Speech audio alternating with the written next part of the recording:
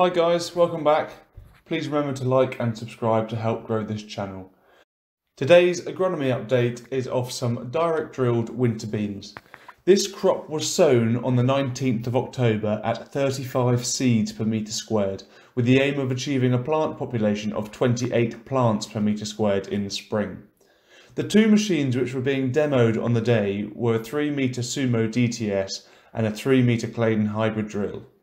Both machines are strip till drills, which mean they only cultivate a band of soil where the seed is planted, and in between the rows the soil and stubble is left undisturbed.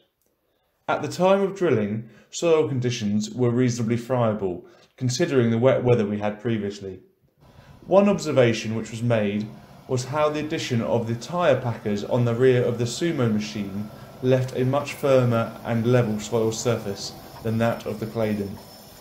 This helped to reduce pecking by crows and allowed for a more even application of pre-emergence herbicide, which was handy because we never got back to roll and consolidate the field due to more bad weather.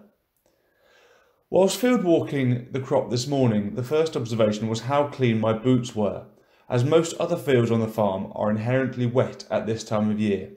This is a common characteristic of direct drilling, as the soil surface, wormholes and drainage remained intact from previous years. On reflection, there is very little to split the two machines at this current point. Both drills have provided a good strong plant stand coming into the spring.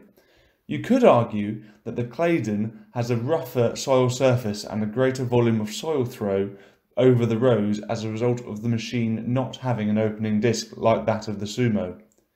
I will continue to monitor this crop and give regular updates on the progress and development, highlighting any key differences noted throughout the growing season.